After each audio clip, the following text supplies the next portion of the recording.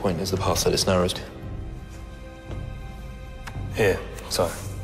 What do they call this place? Camlan, sire.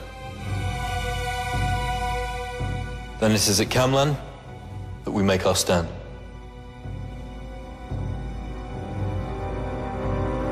Hope never to hear that name again. You cannot go, Merlin.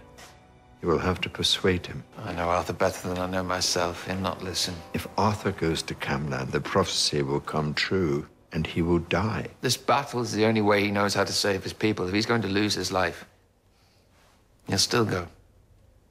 And what are we to do?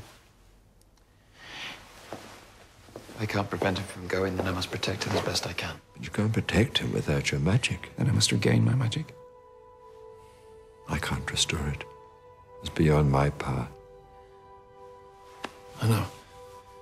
Perhaps it's beyond anyone's power. No. If there's an answer, I must seek it elsewhere. But where? Birthplace of magic itself. Crystal Cave. The Valley of the Fallen Kings is crawling with bandits. Without your powers, you wouldn't stand a chance. Which is why I won't be going alone. I thought you weren't going till sundown. There's something I have to do first. Favor for my friend Mana. Where are you going? Valley of the Fallen Kings. Why? Don't worry. I won't be long.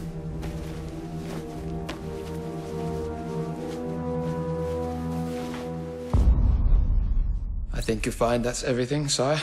Impressive, very impressive. Not seen work like it, well, not from you anyway. Thank you, sire. So, what are you after? After? Come on, Merlin, you're the worst servant in the history of the world. Now suddenly this. Is it money? No, No, it can't be that. You've already won all of mine. Time off. Arthur. No, it can't be that either. You don't really do anything. I just wanted to make sure you had all you needed for your journey to Camlan for the days ahead. Thank you. Merlin, what do you mean my journey? I'm afraid I won't be coming with you. Not this time. I'm sorry. I have an urgent errand to run for Gaius. Vital supplies that I can't obtain here. Vital supplies. Yes. It's not that I'm. No, no. It's fine.